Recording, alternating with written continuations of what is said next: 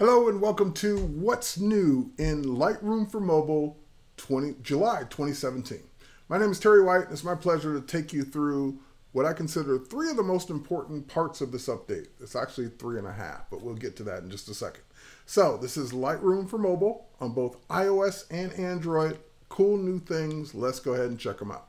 As you can see, I've got Lightroom running on my iPad right now. So basically, if we get back out, uh, I went into my Adobe folder where I keep all my great Adobe apps. I went into Lightroom and I'm already in the collection that I want to show this off in. Now, uh, I got five photos here. I'm going to show at least one uh, or two here on the iPad, and I'm going to show the other one, um, maybe one or two on the iPhone. We'll see how it goes. All right, um, but first and foremost, what's one of those three things? A completely redesigned interface for iPad users. So if you were thinking, hey, why is the iPhone getting all the love and it's getting all the new cool stuff and look and feel, well, you've caught up now. You're on the iPad Pro and you've got all the, not only caught up to the iPhone, but in many ways surpassed it because of the additional real estate that you have on your iPad display. So for example, if I tap on this photo, what I mean by that is look at all the cool things that are exposed all in one spot. So I don't have to swipe or go to a different display or any of that to see the things that I use the most. So for example, I've got the image nice front and center there. I've got the ability to see my film strip or hide my film strip. I've got my ratings, my before and after button on the left side, which we'll see in just a second, my star ratings, my pick flag, my reject, my reset, my undo, my redo, and of course, uh, on the right-hand side now, three new buttons. The edit button, which is the one we're in right now. The info button, which is kind of cool. That lets you go in and change your title and your caption. And of course, uh, if you added your copyright, that will be there. And if you shared your collection or shared your image, you'll see the ability to see your comments um, and interactions that people did while you shared this collection online. All right, so let's go ahead and go back to the photo, which is where we're gonna spend some time here. I've got this photo, and as you know, up until recently, Lightroom on the mobile side was really just about global changes. So for example, I could go into um, color, and if I wanted to make this photo overall more vibrant, I can do that. If I wanted to saturate it overall, I could do that. And then we added selective edits, the ability to at least do the radial filter and the graduated filter on part of the image. But today we're taking that up a notch by giving you the third and the most requested thing, and that is the adjustment brush here in Lightroom for mobile. So let me show you how that's gonna work. In the upper right corner, I've got uh, four icons there. The third icon is my selective edits. And what I wanna do is I want to do a little bit more dramatic sky. So I could dehaze the whole photo, but then I would be dehazing the mountain and the road and the water and everything else, where this will give me the ability to just apply the edits to where I want them. So in the upper left corner, you got that big plus sign. We'll tap the plus. Now you get the ability to do all three. So I can do the brush, radial filter, or graduated filter. We're going to tap on brush. And since I'm on an iPad Pro, I'm going to go ahead and use my, I, or my Apple Pencil because it's a little bit more precise than my finger. And uh, I'm gonna go ahead and um, just check my brush size. Oh, that's feather, brush size, there we go. So make my brush size a little bigger. And now we'll just go ahead and start brushing. So the red overlay is just showing me what I've done or what I've missed. So I love that because sometimes I miss or go over a little bit like I'm doing now. And this is showing me everywhere that I may have um, gone over or missed a spot. Now that I've done that, I'm going to switch to the eraser because I did go over.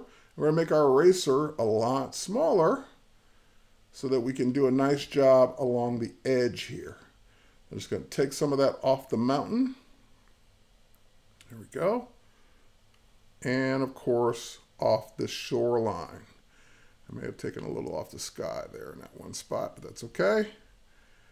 Because I can always go and paint it back in. Okay. So let's go back one more time. And keep in mind, this is feathered, so it's okay. And drop that down just a little bit more in size. And that way we can just go right around that little edge there very precisely and add that back in.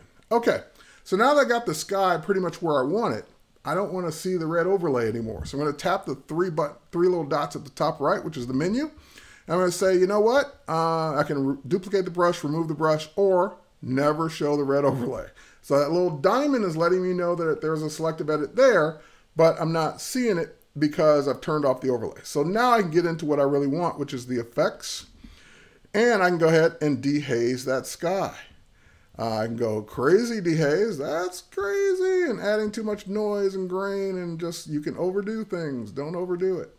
And I would say right about there. But here's the thing I don't like about it. It's making that one little area in the upper right corner a little, little dark gray. And it's like, hey, I'm trying to make this a beautiful day, and you're, you're adding a rain cloud in here. So what I can do, hit the plus sign one more time, add another brush spot, and I'm just going to brush in, pressure sensitive, by the way. I'm going to brush in just this one area here. And I'm going to say, you know what? Let's go ahead and go to color. And let's change the temperature of just that one spot. Make it a little bluer.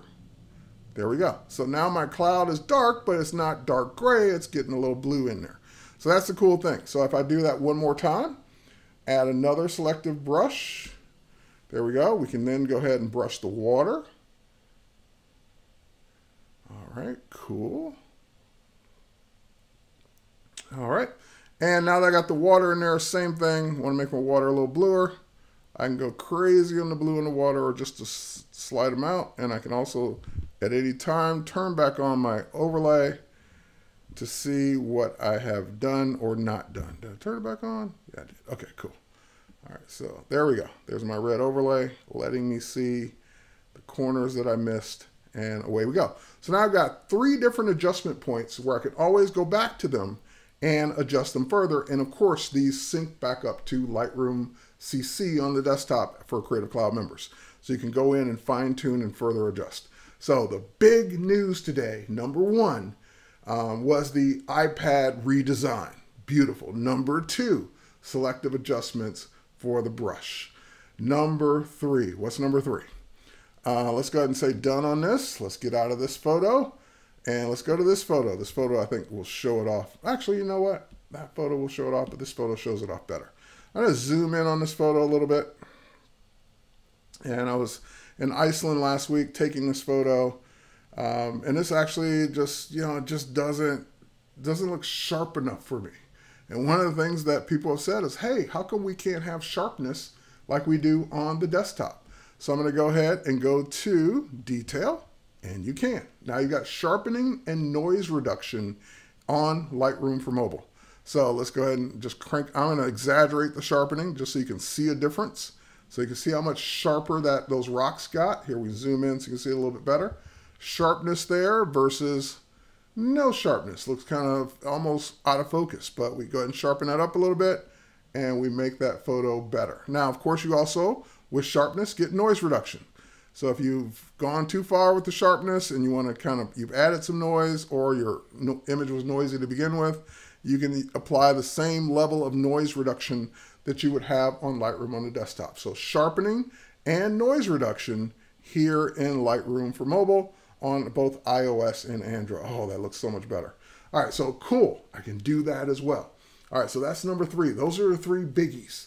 What are some bonus ones? Well, first and foremost, we've done this all on the iPad. So, like I said, I'd bring up my iPhone in just a second here.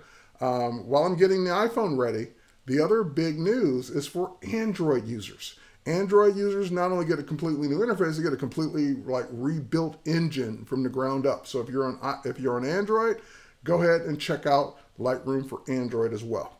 All right, so uh, let's go ahead and bring up the iPhone. And let's see if I can get it on the screen here.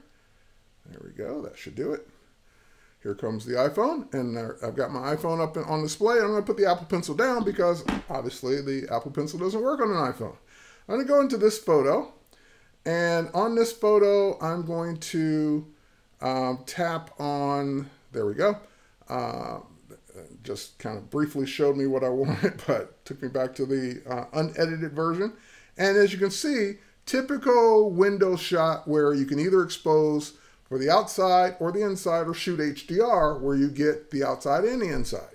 So I believe even in the case of sometimes shooting in HDR, the camera's eye is still not as good as yours. So shooting this as an HDR gave me a great outside window and gave me a little light on the inside for some things, but I want to kind of see more of that, um, more of that window on the inside of the room.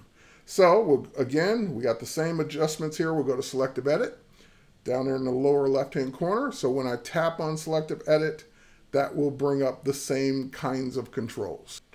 Then I can go in and hit the same plus sign in the upper left corner, get the same brush.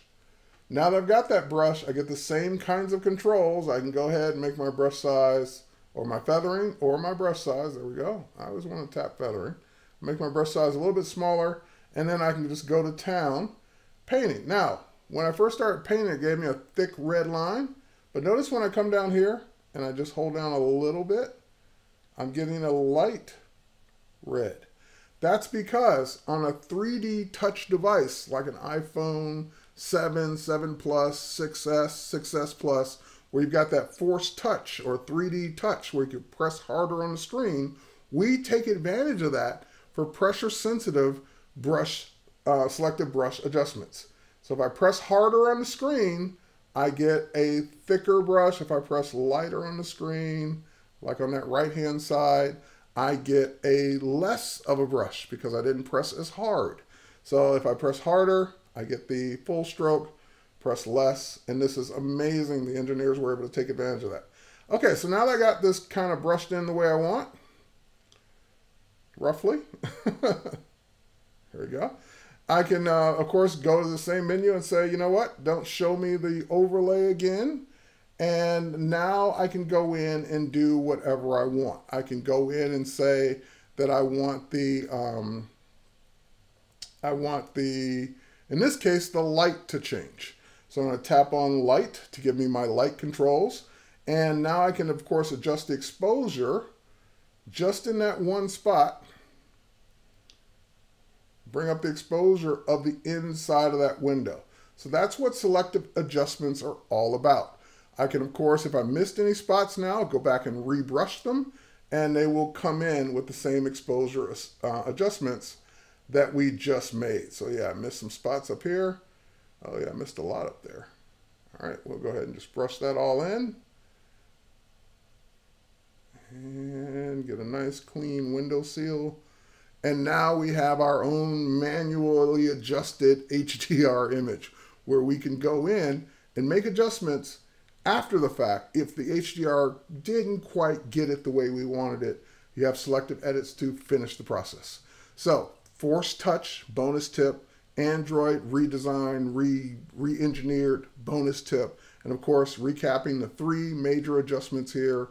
Um, completely redesigned iPad interface, selective brush adjustments on both iOS and Android, and of course, um, Force Touch on the devices that support Force Touch. So the iPhones that Apple introduced that feature on, which I know for a fact are the 6S, 6S Plus, 7, 7 Plus, and maybe the 6, I can't remember. But whatever device, if your device supports 3D Touch or Force Touch, you've got that feature now in Lightroom for mobile. So that's it, folks. Take care. Thanks for watching, and we will catch you on the next one. Go download Lightroom Mobile. It's available as of the re release of this video. And of course, I'll be um, showing this live on the uh, Lightroom Facebook page this Thursday, which would be the 20th at 1 p.m. Eastern, or I'm sorry, 1 p.m. Pacific time, 4 p.m. Eastern uh, in the United States. So facebook.com slash Lightroom, and you can check it out and ask questions, and I'll be there for at least 15 minutes showing off these new features once again. But I'll be doing it live. All right, so with that said, Take care. Thanks for watching, and we'll catch you on the next one. Bye, everybody.